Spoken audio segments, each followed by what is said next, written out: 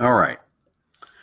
Welcome to our second installment of Module 3 and EDAP 688. I'm going to take a little bit of time here before I jump into our stated purpose of tonight's class, which is to do the facets of understanding.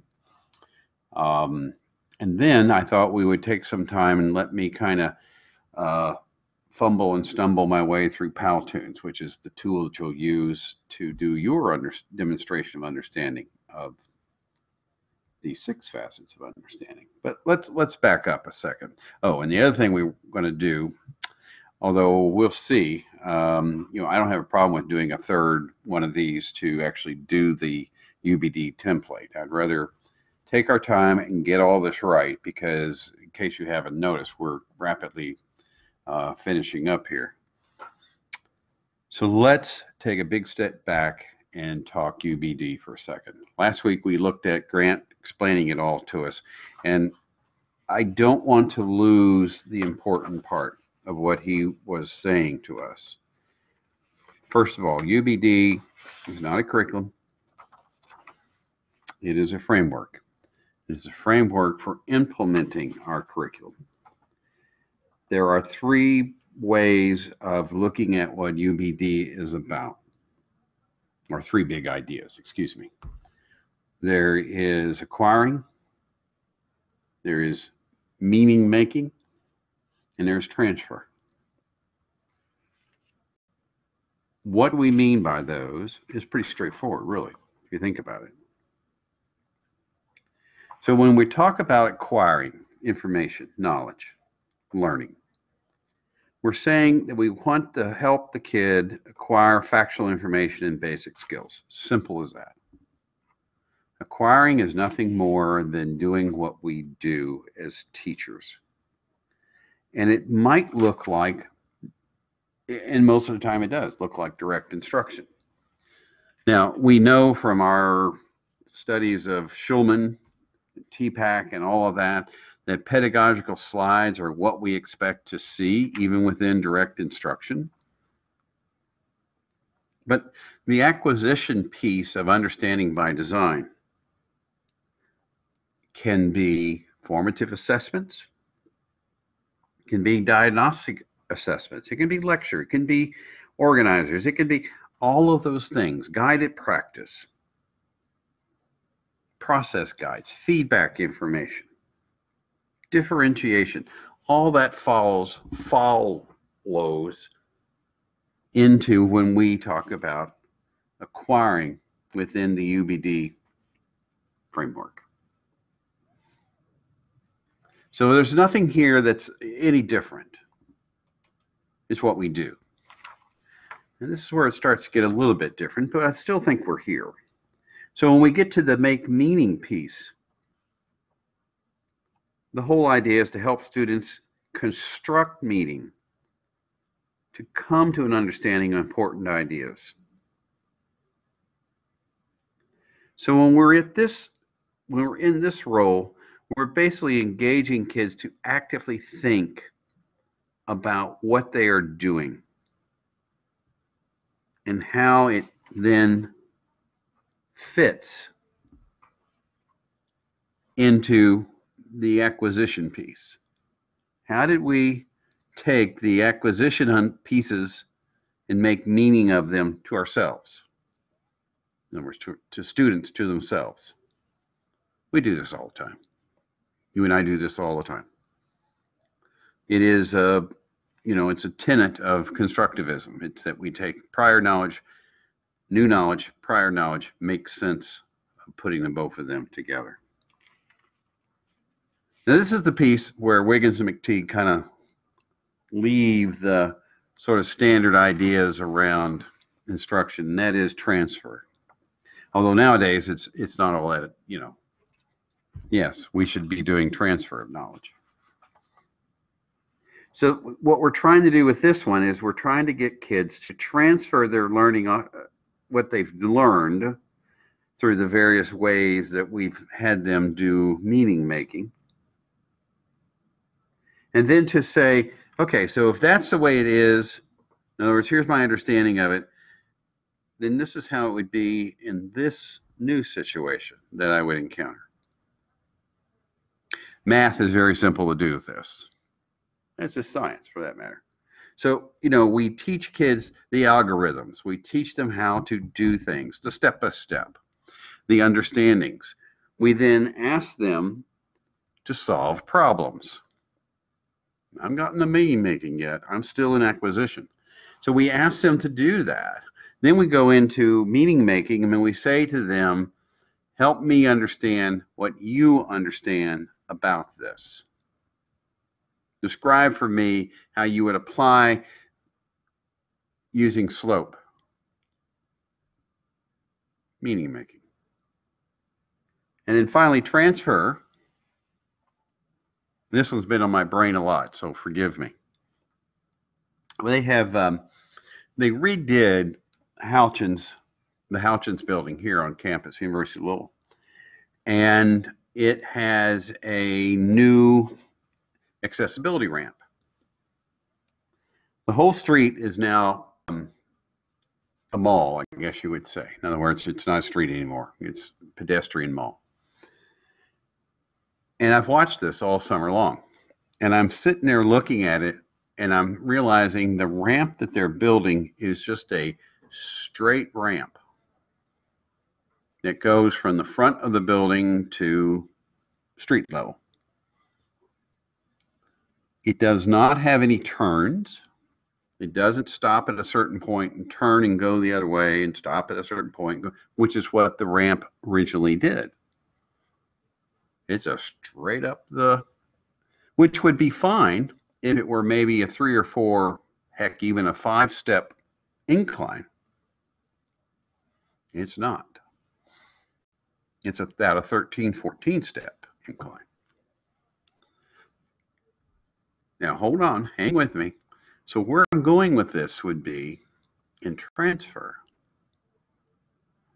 Take a look at the amount of run over rise that this ramp represents.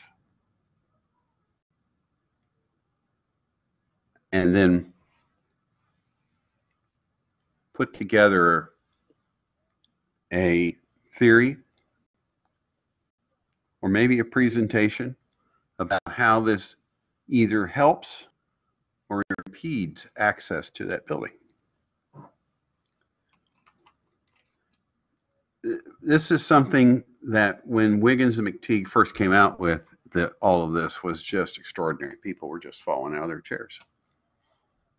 As I keep saying to you, it underpins so much of what we now take for granted as standard curriculum thinking.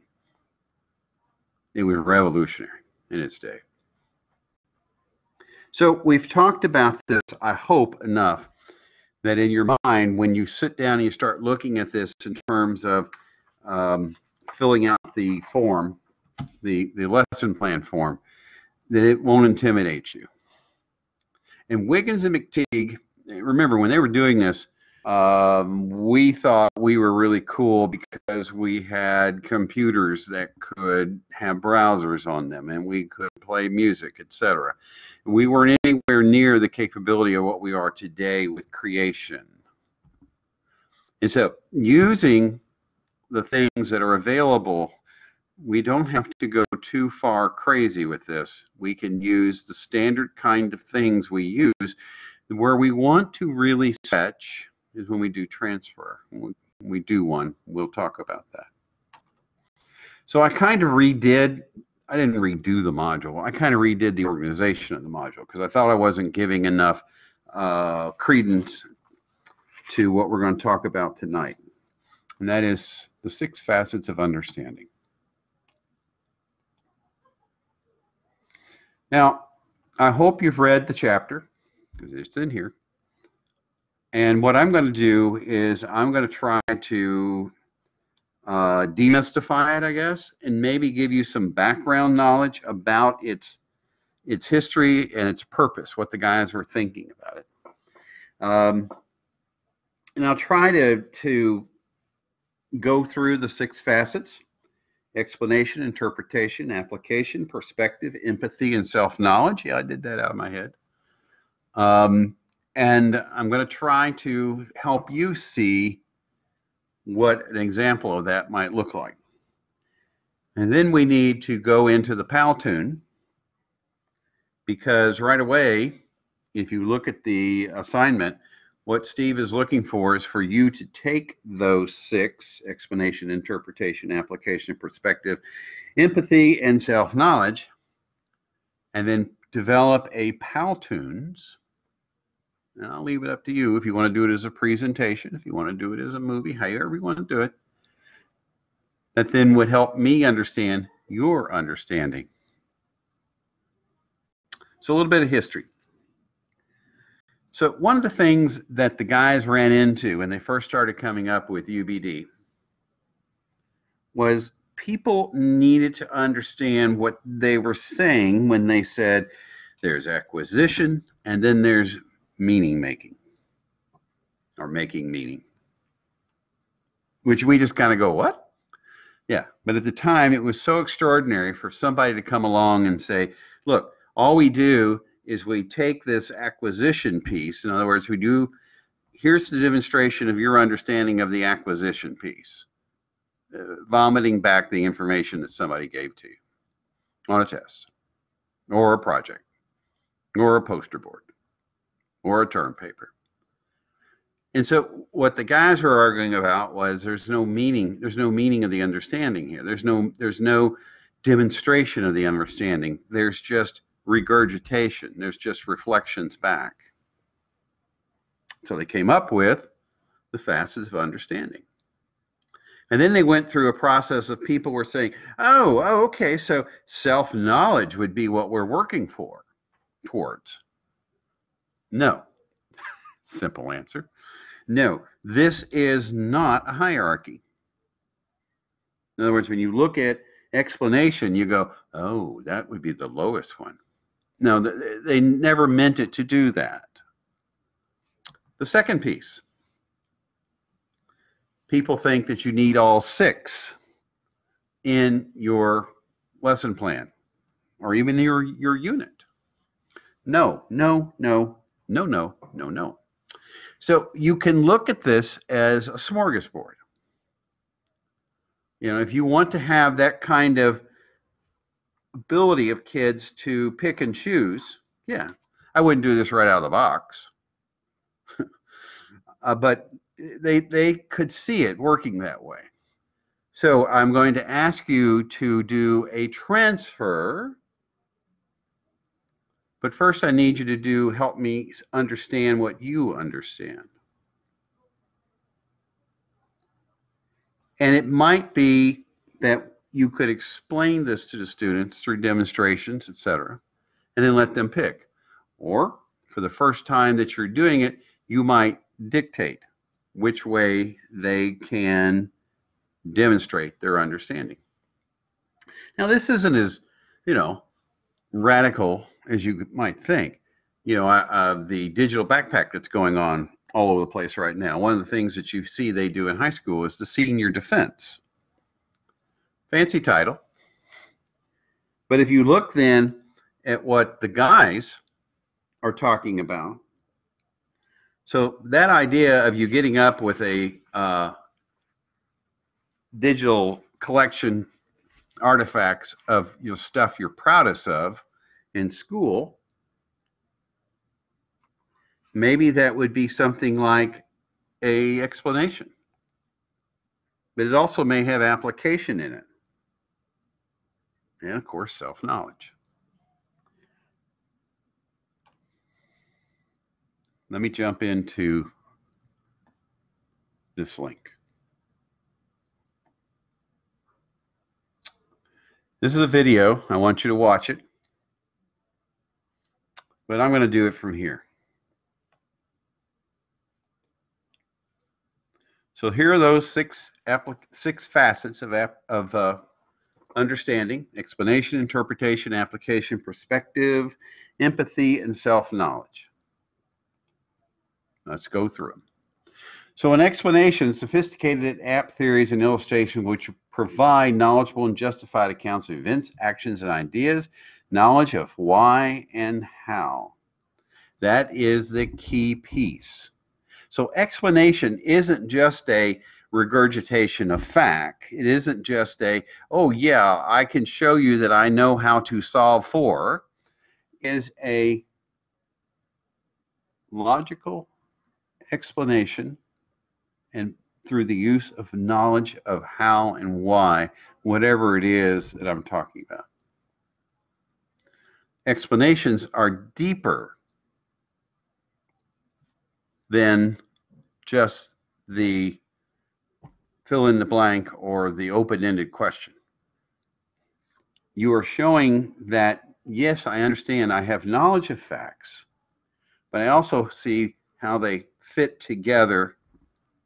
And here are some explanations, illustrations, etc., to help you see that.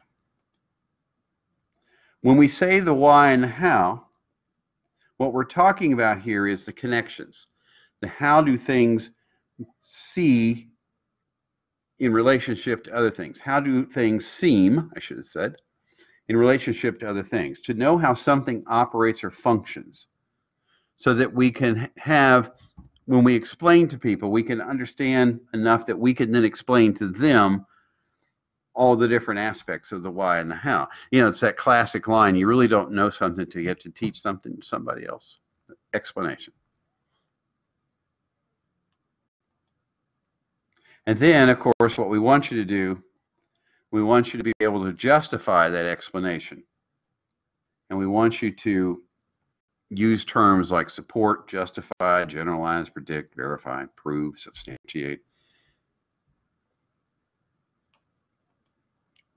So when you look at interp when you look at the whole idea of explanation, it might look like, and, and I'm using ideas here that are technology based in some ways. So a student might develop a brochure to explain the principles and practices a particular part of whatever. It might be a brochure that helps me understand something, a technical manual, if you will. It might be a PSA, public service announcement. Might be a training video. might be a PowerPoint. Although I hope you're learning from, or you learned from my 690 class, that PowerPoints aren't intended to teach. They are, they are intended to present. But explanation is where kids basically is where they're taking information they have and they're applying it and they're saying, okay, so this is why we do what we do. This is why we use the formula in slope to determine rise over run. This is why we use the various instruments that we use to look at how things are in, in the universe. I'm sorry, I'm having trouble here coming up with some explanations of explanation because to me it's very straightforward. When you get to interpretation, this is where you're basically looking at the narratives, the images, the metaphors, and what do they mean? What do they matter? What does this illustrate about the human experience and what sense does it make? interpretation. So when we look at this one, we're looking at when we look for patterns and things, when we look at the narratives of the patterns, how does it transform our understanding and perceptions of particular facts?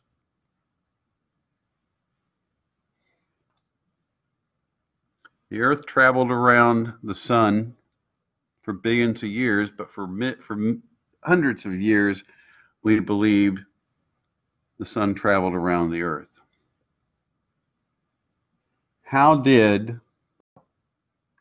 Galileo, through his understanding of the meanings and patterns that he was seeing, was he able to come up with that hypothesis?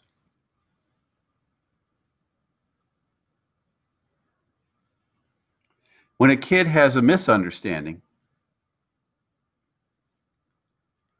they can point out the fact that here's where the problem lies. When I look at interpretation, of course, all of these have a little bit of it in there. I see epistemic agency at work all over the place. Being able to describe what you know, being able to describe where your holes in your knowing might be, and then making sense of all that.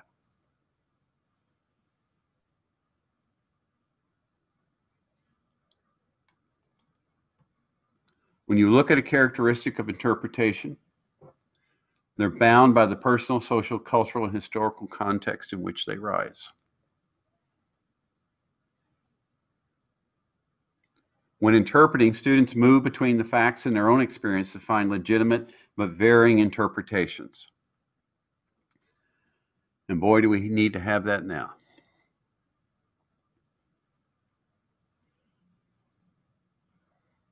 We need to come to grips with this very complex society that we live in now.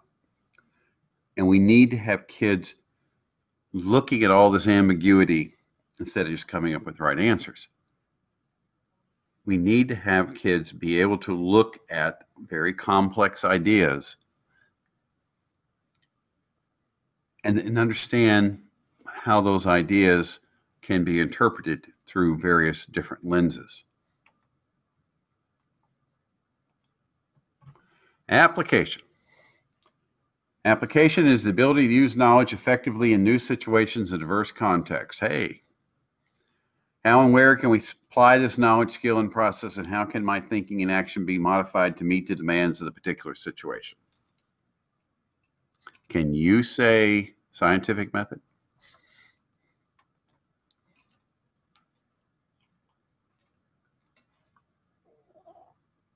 We need to have real problems that will push kids to look for not just the answer, but the connections back to their previous knowledge.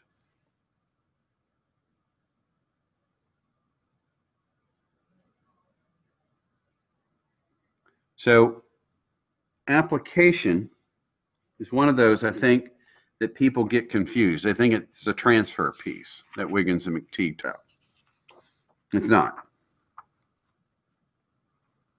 It is what we're trying to do is we're trying to get kids to apply their knowledge that they have acquired through instruction, etc., testing, to a situation that the teacher creates.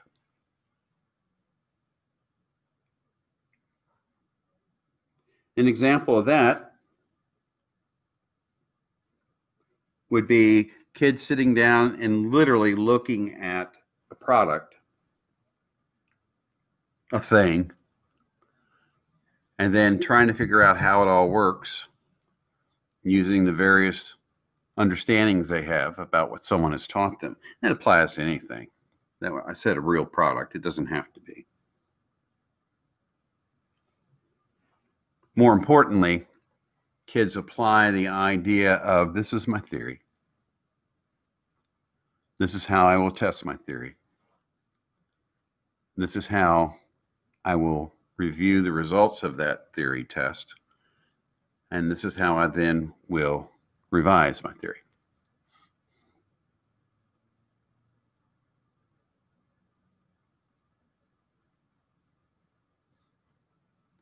And that applies to everything. It could be something as simple as what would be a more effective way of studying for a test to how can we design a better way to recover uh, rainwater. I, it's all over the place. Perspective. It demands critical and insightful points of view. He wants to know from whose point of view. What is assumed or a tacit level that needs to be made explicit? Is there adequate evidence? Is there evidence reasonable? What are the strengths and the weaknesses of the idea? What is a novel way to look at this? Perspective is used, you see this a lot in social studies kinds of things. Hello. Um, and what we're trying to do with perspective is we're trying to look at it through a different way of looking at it right now. A perspective might be in social studies, might be an examination of the immigrant situation we have here in the United States. So we would have the information acquisition part would be the long history of immigration in the United States. We have a bad habit of looking at things through very short lenses. So last five years, when immigration in this country has been since its very beginning, right? The only true natives to this country are the Native Americans that live here. The pilgrims and everybody else from then on out were just immigrants. So we are trying to see a perspective of why do people want to come to this country? Why is everybody in such a hurry to get here? And then we can look at it from the different ways that it's reported. Well, the reason why everybody wants to come here is because they think they can get a free ride. Or the perspective of people want to come here to enjoy the freedom and the opportunity that America represents. You see, perspective here is what you would use to take a look at. So, why do we, historically, why is it this way? And what's the evidence?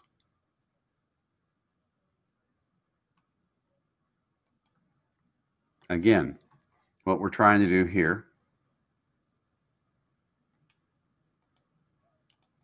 is we're trying to confront the new ideas.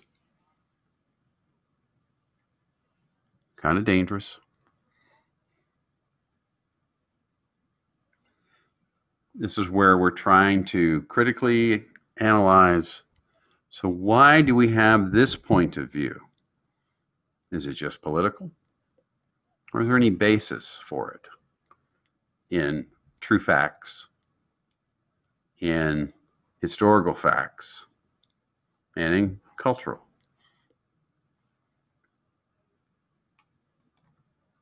Empathy. Walk a mile in another person's shoes. Um, one of the best ones I ever saw of this was my young friend Christine Mudd, who teaches now over at Hawthorne, who was out at uh, Greenwood Elementary. When she did her Native American unit, she had the kids do the classic acquisition. So we did we did the classic break up into the various Native American groups that were that are historical, uh, that are represented in most textbooks, et cetera, et cetera, et cetera. And so groups of kids had to own one of those groups. Southeastern Native Americans, Northeastern Plains, Northwestern, Desert, Southwestern. And so what they did was the kids had to work up an explanation of the history, the culture, et cetera, et cetera, et cetera. We're good at that. We're really good at that. And she used some really nice technological tools to do all that with. And then she threw them the loop. Create a PSA that you would play, public service announcement, by the way, PSA, that you would use to convey either the plight, situation, challenges of Native Americans today. Walking the moccasins, for a mile. Moccasins, I shouldn't have said that. I should have said shoes. I apologize to all my Lakota Sioux friends. We, empathy, I think, is one of the best to do It's also one of the hardest. It's really hard to, to see what others see.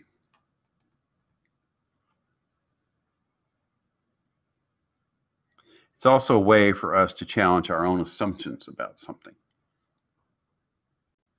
I remember a principal doing this, a principal who was uh, very, very, very well educated about Wiggins and McTighe because we sat in the same um, training sessions. But she took her teachers at her school, which was a, a central city school. It was a, it was not in the West End. It was more well, down here around around U of L, but it wasn't Cochrane. It wasn't that close. But it was still a, a school that drew from the center city. And her faculty was mostly white, and her children were mostly people of color. And her stakeholders were mostly people of color. And so she took her, and she had a great faculty. She took that faculty and she handed them digital cameras. This was new. The whole idea of being able to walk around with the camera. Because now we'd laugh and say, well, why didn't you use your phone? But back then it was cool to walk around with a little box and take pictures. And so what the teachers did is they then walked the neighborhood that their school was located in. And the directions they were given was take pictures of what you see in the neighborhood that helps you reflect upon why teaching here is the way that it is. So the teachers came back and they, they downloaded all of these pictures they had taken. And then they worked together in grade groups and they put together their own little grade group, you know, presentations, PowerPoints about how they saw the, the area that their school represented, that it taught to. Then the teacher did the same thing with students. Brave of her, because she let them walk out, which at the time were fairly expensive pieces of equipment, but she believed in her students. So they went around, did the same thing. Take the pictures of your neighborhood that you think best represent the neighborhood and why you like being here. So when you looked at the two, when you looked at the two, the teacher's bulletin board was made up of things like overflowing trash cans, busy streets, cars flying by, people sitting in doorways.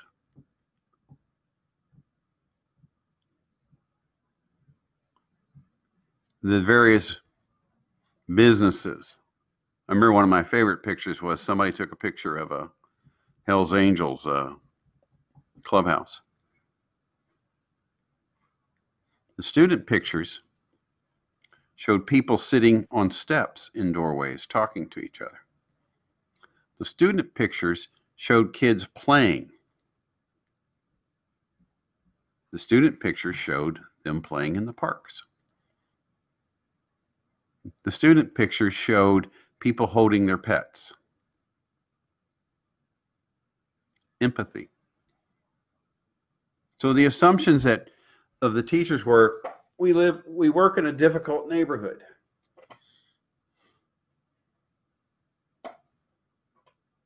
And this is why. You know, or this is how we can document that. The kids' assumptions were we love where we live. And we'll show you why.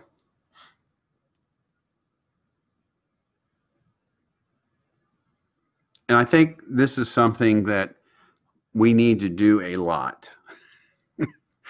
we need to do a lot. We we need to do this kind of um, exercise, especially with our ESL children in schools.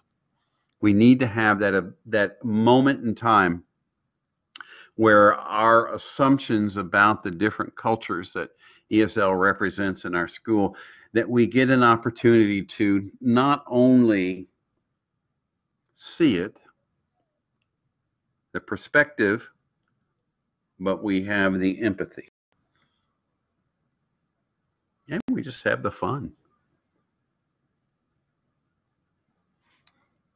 The explanation. Self-knowledge. This is epistemic agency. It's the wisdom to know one's ignorance and how one's patterns of thoughts and action inform as well as prejudice understanding. We used to, when I got through with my training with Wiggins and McTighe, we called this stand and defend. So when I see this senior defense thing going on now, I kind of smile. But I think the whole idea, stand to defend, the whole the whole purpose of stand to defend was not just, did you know? Did you know? It was, this is what I thought. It was wrong. And this is what I realize now. Or it was, I started out doing this, or I started out using this, and I realized that it didn't really work with the situation. And that was because I didn't have a better understanding of it. This whole point of self knowledge isn't necessarily just to stand there and say, well, I was really dumb about that. It is to stand and say, here are the strengths that I bring to this. Here are my understandings. The whole point of metacognition is we are able to express this is how I learn. And this is why the way I learn makes sense in this particular situation. It's not necessarily that I can't do the task. I can't do the task the way you want me to do the task. I can do the task the way that I see how the task ought to be done. Now, you know, you can say, well, that doesn't really give us any real concrete evidence the kid knows what they're doing. I would disagree 100%. If the kid can sit there and say, this is what it means and this is what it does not mean, this is what I understand, this is what I don't understand, wouldn't your life be a lot easier as a teacher?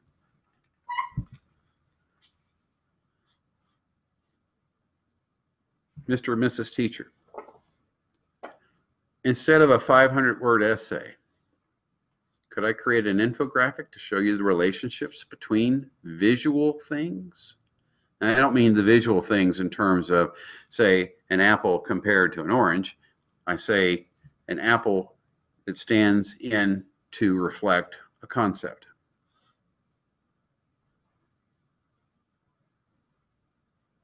Kids think that way, by the way. Go sit in a kindergarten class and watch sometime. You see them doing it all the time.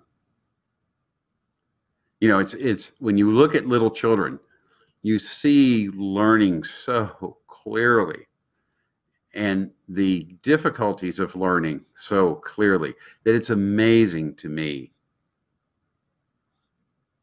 how we get kids to kindergarten. you watch little kids who are basically using their own language and words to describe things. And then they realize that eh, everybody else isn't saying that. and so they start using the words and the descriptions that they use that they hear everyone else doing. And isn't it a shame that we lose that? We lose that ability to sit there and say, okay, we know it's called this, and therefore it has this kinds of things associated with it. But what if I also thought it was this as well? In other words, it shared associations with other things. Huh. What would I call that? We know that when we pass an electrical current through a wire, that we lose some of the electricity to heat, and light due to the nature of conductivity. And we can do experiments with that. So we know those things through experiment or just through knowledge. You know, someone who told you. What would happen if I started running electricity through different kinds of things, different kinds of wires, or just different kinds of things altogether? Just to see. To take another perspective. My understanding, my self knowledge tells me this. What I don't know, I go and find out, and it tells me something else. I put all this together, and I create a light bulb. I don't know if that, that's how I did it. Fact, I, I know that the way it was done was through a collaborative effort, but that's another talk for another class. So, six facets of understanding. I'm going to stop it here.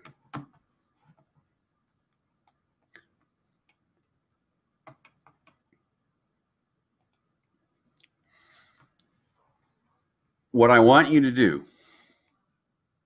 is, this is also very good, by the way. I'll play it just for a sec.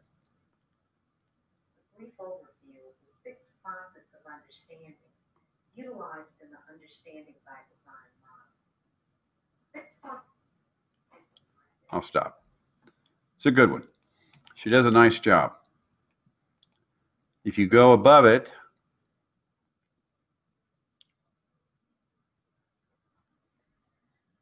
I'm, I'm sorry, if you go below it, here's another one. Take the time to get this into your head. Because this then will inform you on how you want to set up your lesson plan. Let's review. The six facets of understanding are not hierarchical. There is no one facet over another one.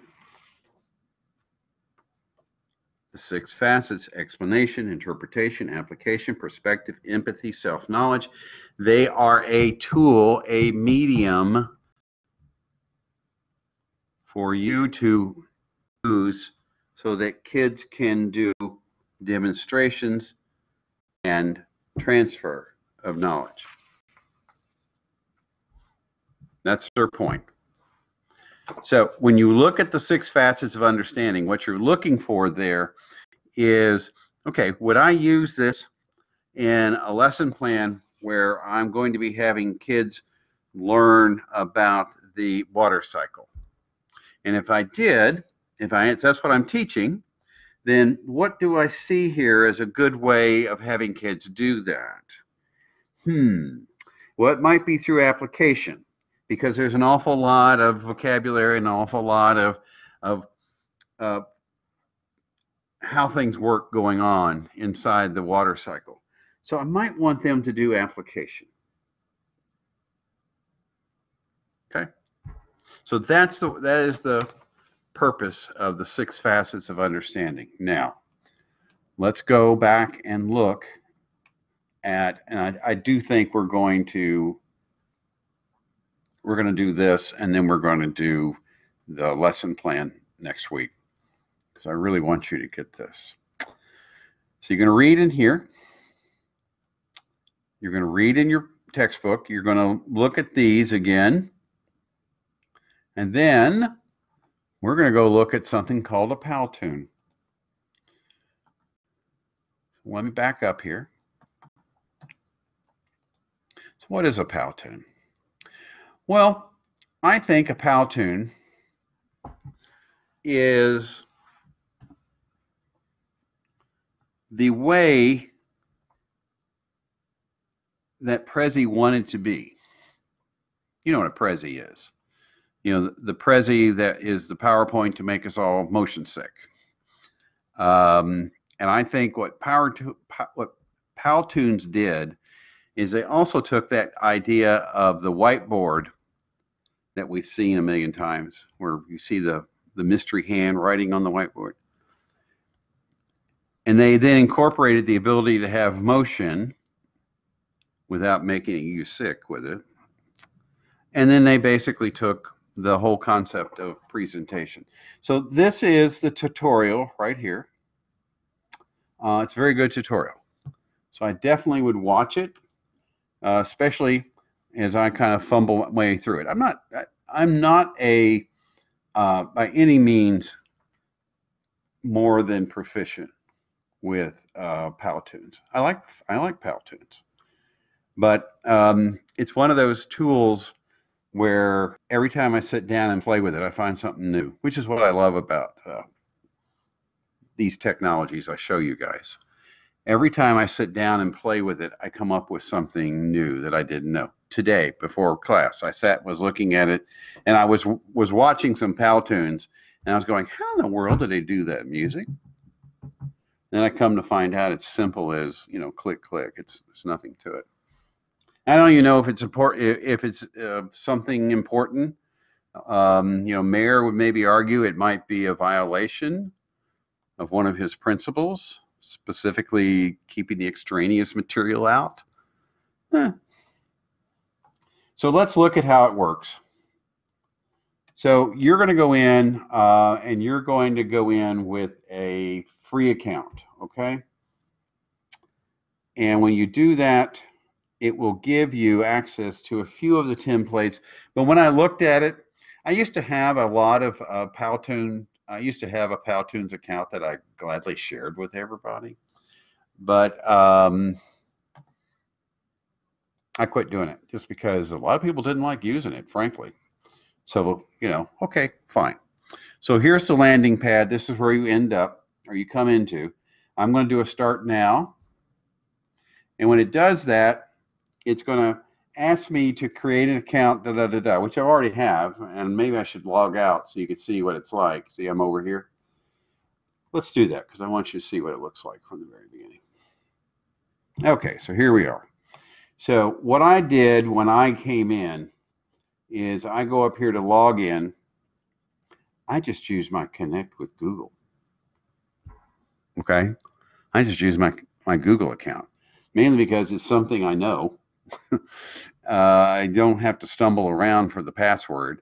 And especially if I'm working with inside of Chrome, hey, hey, it automatically fills everything in for me. So I'm going to go in with my Googly account and it throws me right in here. Now, first question you need to ask, and is there a right answer? No, there is not. This is where I want you to play. Think about how you want to do this. What type of Powtoon do you want to create? Well, what was that thing again? What are we supposed to do? Steve wants us to illustrate our understandings of what explanation, interpretation, application, perspective, empathy, and self-knowledge are. Okay, so maybe what I ought to do is take a look at these, because right off the bat, my eye is drawn to here. Presentation. Mainly because it kind of strikes me as a PowerPointy kind of thing. Well, right away I got some problems, don't I? But that's okay. I can still preview things because I could go off and make my own, okay? So I'll preview one of these just to get a sense of what it looks like. Hmm. Okay. So I might think about doing it this way because I could go in and use the various tools to do a demonstration of what each one of the each one of the facets are. All right, let's go over here to explainer video. Now in explainer video, I've got some stuff here that I can play around with. Uh, that looks kind of familiar. Let's see. Can I use this one?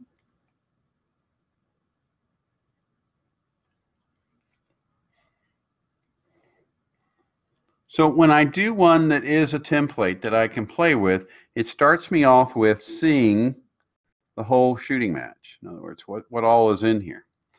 And just like in Piktochart or the other infographic tools, the Visme that we use, you can go in here and you can change up how you want things to work on the slides. So the slides are pretty simple. Uh, they're just waiting for you to add things to them.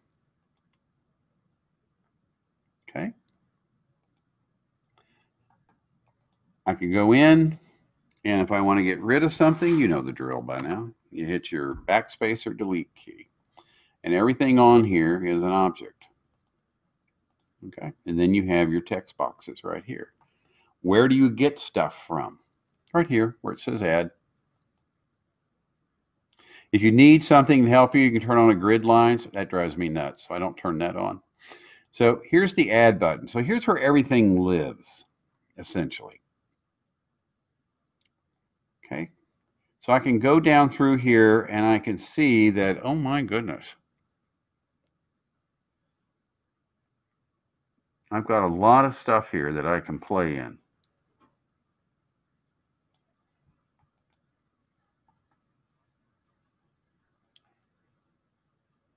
And one of the things, like I said earlier, I was trying to figure out how to put this music in here. It's right down here.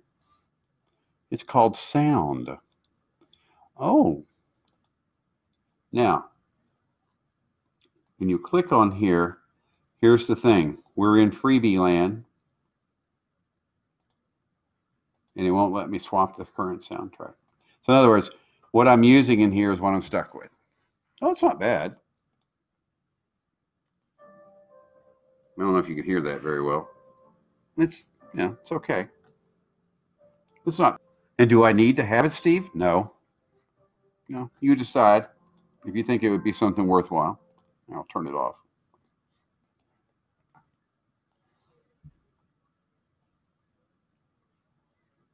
All right, let's go back and let's look at another one.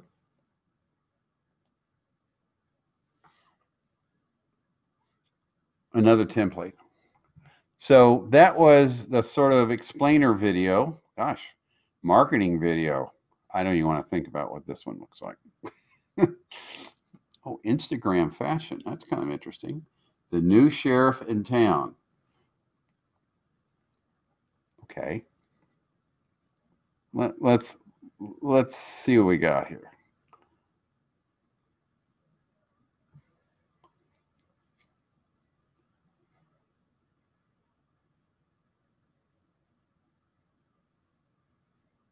Interesting.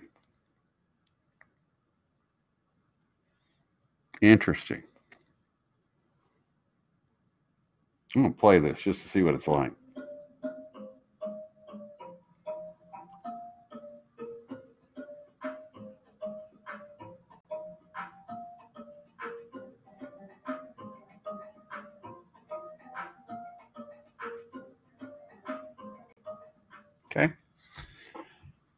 They do that? Let's go look real fast. First of all, you'll notice that they, over here, where they have their slides, they have little transitions underneath them.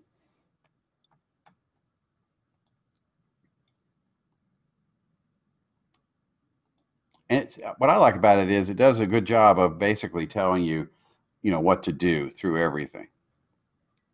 Now, she, if I'm not mistaken, is a background. Let's go check that. Or she might be, no, I don't think she's a PowerPoint or a YouTube. Let's see what background does.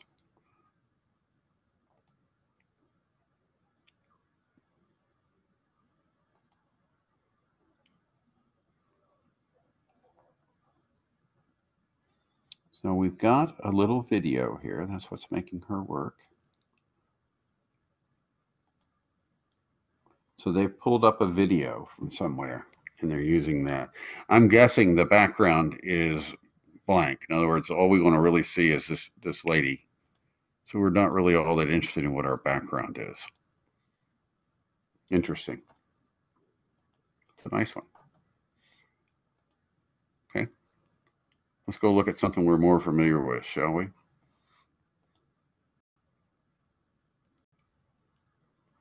Oh, so I went into templates. I'm going into education. I'm going to go into teacher. Ah, now we're going somewhere that is a little more familiar country. Watch out for those pros, pros, because that means we can't use it. Oh, five quick facts. Okay, let me show you where I went, just so you know. I went over here and I clicked on the pancakes. You know that. That's the technical term for this little icon. I clicked on the pancakes and I went down here, the templates. And then I went through it and I've ended up in teacher. Watch out for the pros because we can't use those. But here's one that looks kind of interesting. So I'll preview it just to see what it is.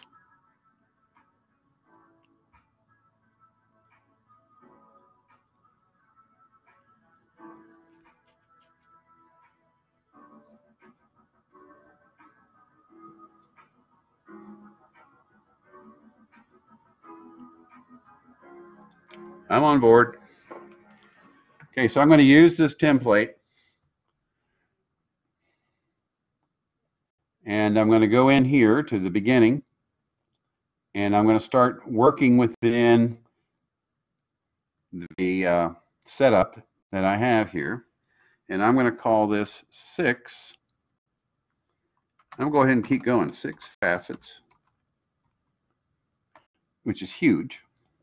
That's okay. I can clean this up. You know how to do this. So I'm going to clean this up. I'm going to bring it up a little bit. Go ahead and I will highlight the F-A-C-A-T-S. In other words, I'm going to highlight my letters in here. And I'm going to make them smaller so it all kind of fits together. And I'll go up here and I'll go, ah, da, da, da, da. Just start letting it get smaller and smaller and smaller. Right? This is nothing new. You know this. And let's see. And I'll stretch. No, it's moving it.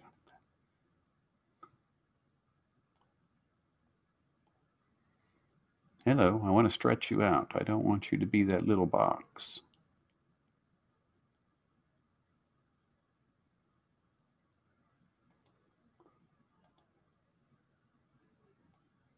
There it goes. Just had to find the right handle to grab it by. Now this other stuff that's here, I just might get rid of that. I don't need it. I don't need that word. And I don't need that little line thingy there. I'll probably leave that. Okay, so now I'm here. And if I want to go back in, I could go in and finish off my writing.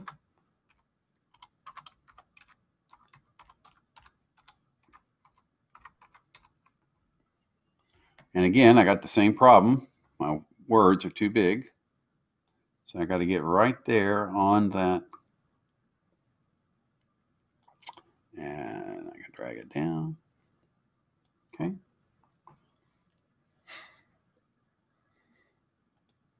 I like number one. I mean, I like the way this looks. You know, if I wanted to, I could go in and maybe change up the actual number here, but I think you're good with it. Then down here is the next slide is where I want to start taking off. And so here, I would basically drop in and put in the different names of the different facets. And then I would start playing with how I'm going to explain them. Okay? And I can do that through images. See, it's right here. It says insert an image. Okay, so I'll go up here and I'll do an add. And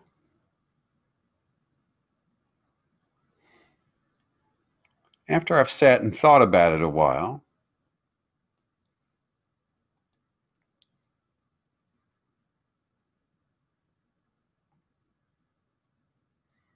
yeah, thanks. I'm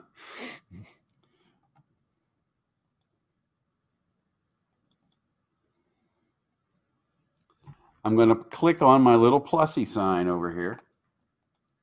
I'm going to do a search. Okay, so let's see. Explanation is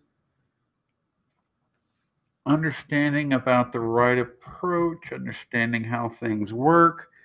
Uh, let's try that. How things work.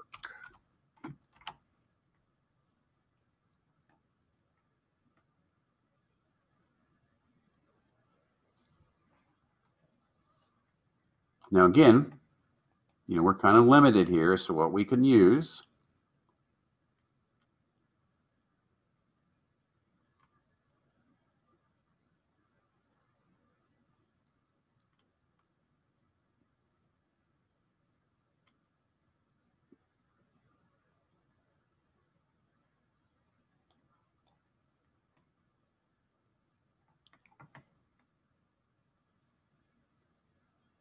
Okay. And I'm not going to stop there. Remember what he says over here. Let's go back and look at the assignment.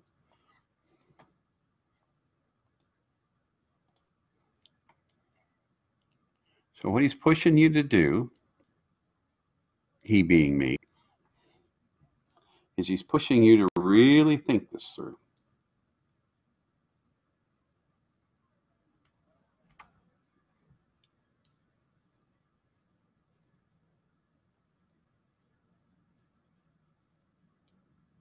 Okay, so I've got a good picture there for meaning making, don't I? That's what they're doing right now.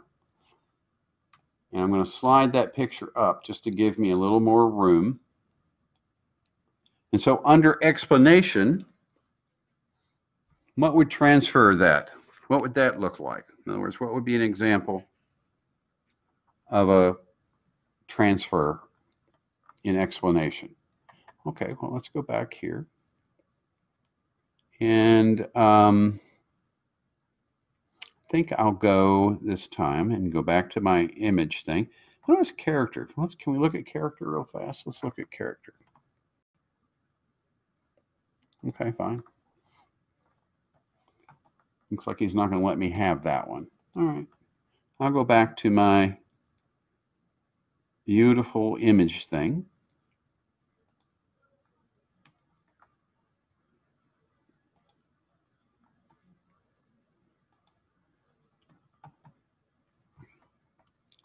And, oh, he's only going to let me have the one? Ah.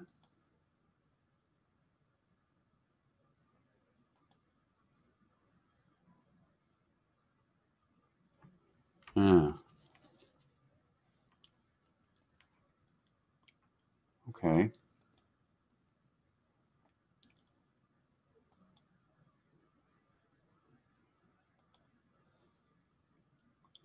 Well, guys,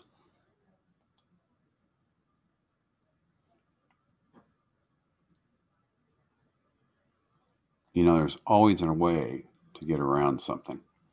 Let's try it one more time, shall we? So I'm going to go into add, and I'm going to add. Now I see why I had uh, this paid for. so I may have to come back here and just use language. In other words, just use words to describe transfer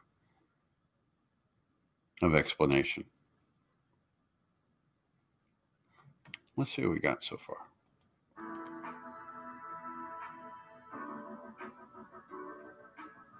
Okay, fine. Let's go back in here. This little shape thingy, I don't know what its point is, so I'm going to get rid of it. And again, I'm, I'm back here with this. So it looks like we're going to be able to use maybe one picture, and then the rest of it's going to have to be words. Fine. I can live with that. Unless somebody out there yells at me long enough. Uh, to go and actually get a paid account that I just share with everybody.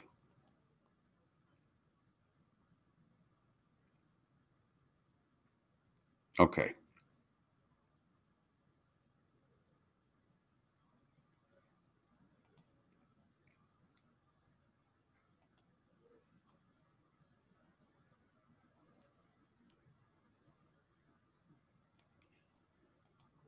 Okay, so it's telling me I'm in edit mode and I need to go to create mode. Boom. Boom. See, 17? Now I know what I'm doing, sort of. So now I'm over here and I can start really working on what I want to do. So let's go down through here and find what we were looking for. There's images. I can search an image. I can upload an image.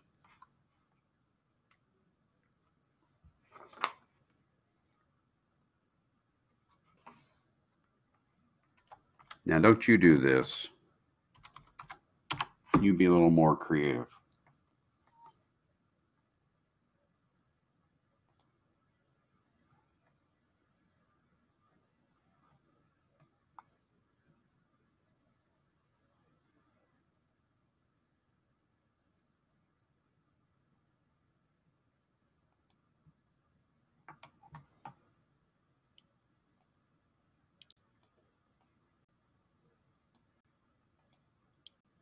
What have we learned?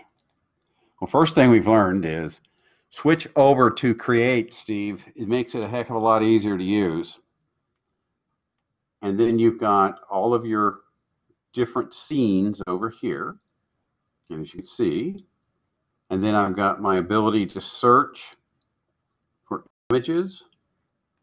Let's go ahead and close all this out. Okay, let's see. We had props. Let's see what props do. Oh.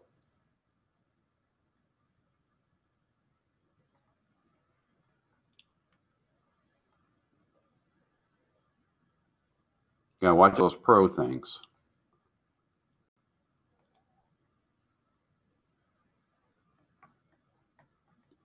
Okay.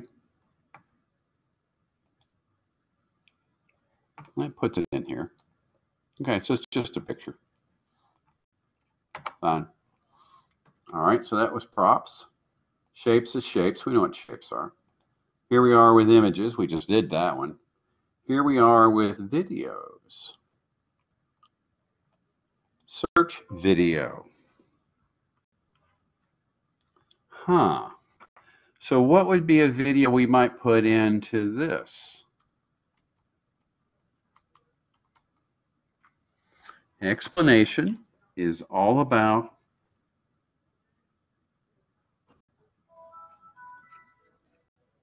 how something gets done.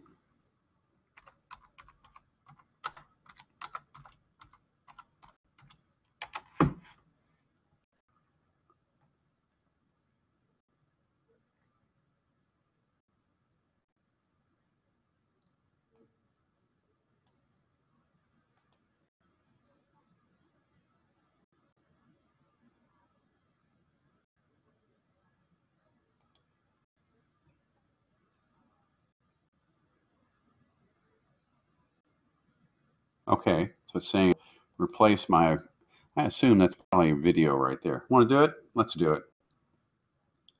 Just for the heck of it. Ooh, that's kind of cool. And what is this? Just clouds? Let's see what happens. Oh, kind of slick. Now I can move all this stuff around and move my picture up there and move that over to there. Ooh, liking it. I don't know what the stars are for. We could probably get rid of them. Pam, go away stars. And get rid of that star. Get rid of that star. Get rid of that star. Okay. I'm starting to like what I'm seeing now. What do we learn? Well, first of all, when you're in edit mode, you want to go over to create. That way everything opens up for you and you're able to have access to everything.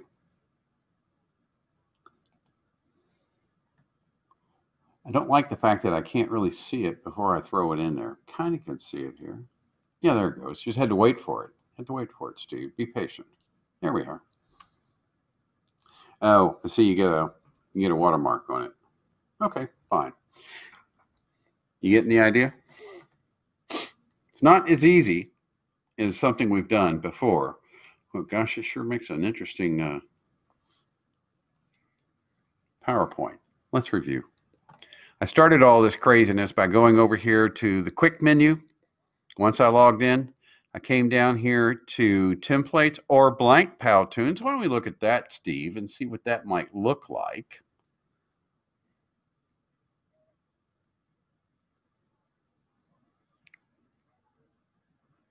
And now we're back to that look that we might want to have. Um, um, um, uh, what the heck? Let's do cartoon.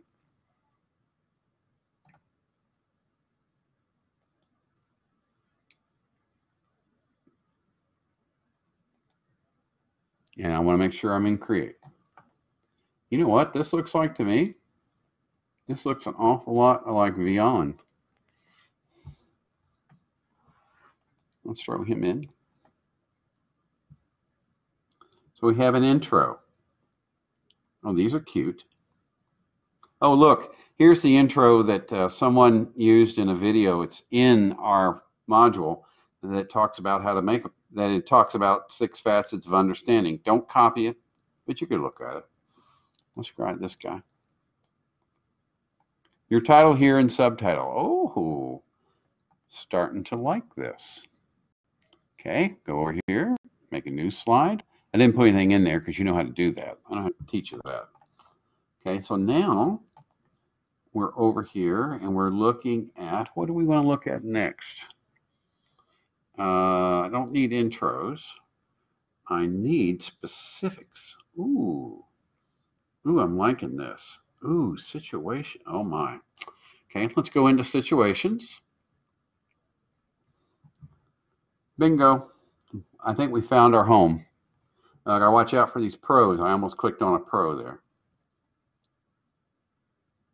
That's the only bad part about it is I can't really grab what I want. Okay, so I just put him in. Oh, he's angry. We're sorry that you're angry.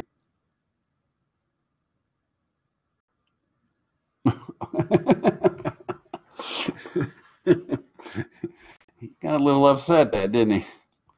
Okay, so let's swap him out. And put something else in here. We're sorry you're angry, sir.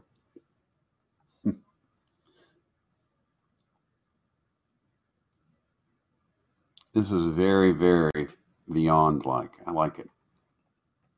I could spend some quality time playing around in here. And then our ad is everything still here. So it's not like we've lost anything. We can still do everything. So what do we do with it, Steve? Okay, so now I'm ready to do my Powtoons. I'm going to give it a name. I'm going to save it. And I'm going to preview and I'm going to export it.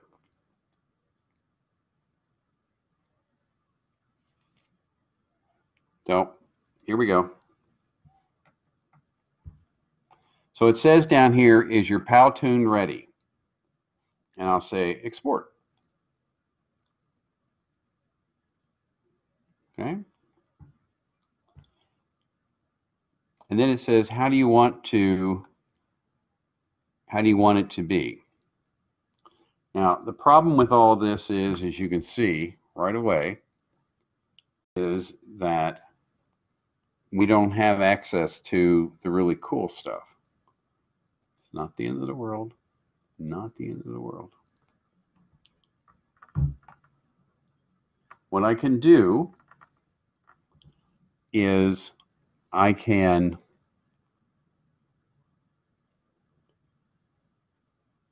get to where my Powtoon is located, in other words, the URL that it's located at. So I can go preview, I can look at it. There it is. That's cool. And I should be able to take this, and let's find out. Let's give ourselves a new tab. Let's paste it in. Okay.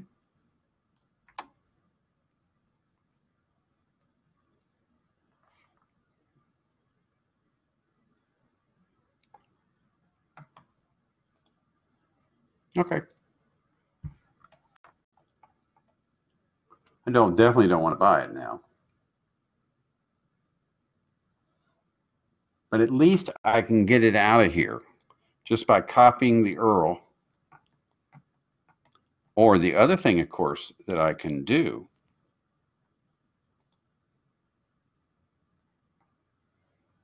because see all of this is is locked out to me. In other words, I'm not putting it into any of these. Wow, I put them into Instagram. That's kind of cool. I could download it as a PowerPoint. How yawny yawny. Won't let me download it as an MP4. Okay, so if you're not going to let me do that, the only thing that I see as my um, options here is to go back out to my Powtoons.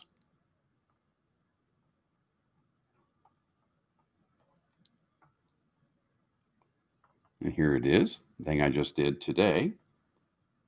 Let's see what it lets us do. Okay. And edit, we know how to do that, thanks.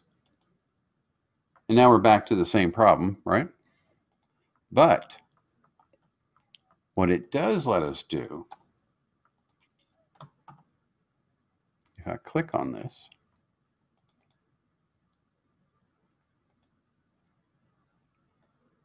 it lets me play it.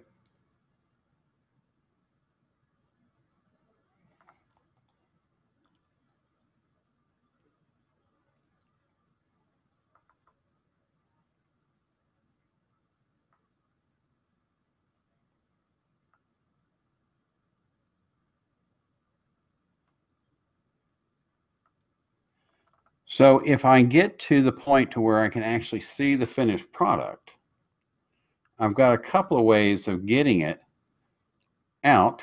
Here's the last one I was just doing. So there's my URL that lets me copy that. And then when I'm inside of here, let's get to our content page. Thank you very much. And then let's go into assignments. Let's go down to where this one is. Now, all you're going to have to do would be click on the right submission button, paste in your link. There it is. And submit. And so to get the Powtoon in, it's just a matter of finding a Pow, the Powtoon that we can watch and then copying that video or copying, excuse me, copying that URL that represents it. Here's this one. And then we can just put that in and then I can watch it.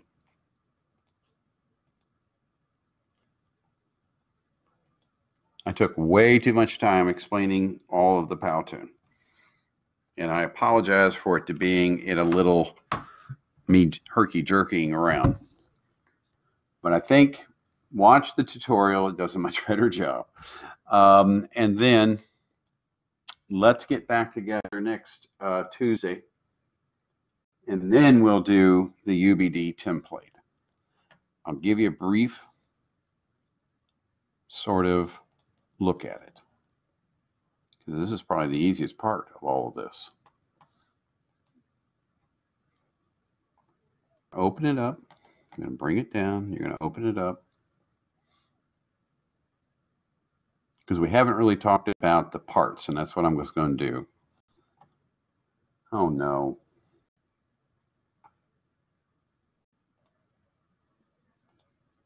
Okay.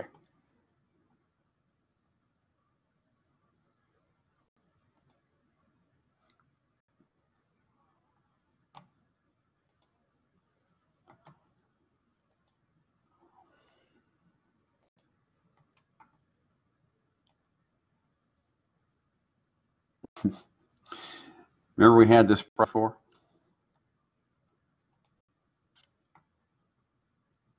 Yes, I want to cancel setup. I guess I could sit here and let it go all the way through. Let's just see if I can close that box. Nope, it's going to take me back. Wow. Wow.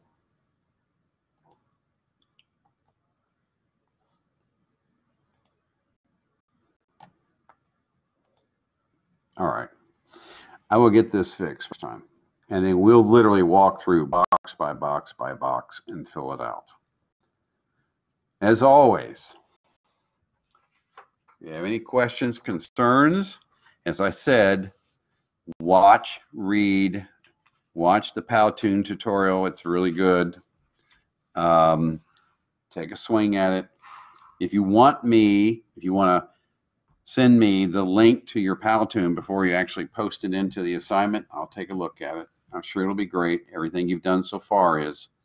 Uh, and then next week, I'll get that fixed so that I can actually have the ability to open up a, a download onto this computer. And then we'll sit and do a lesson together. As always, if you need me for anything, 502 457 2937. I will see you next Tuesday.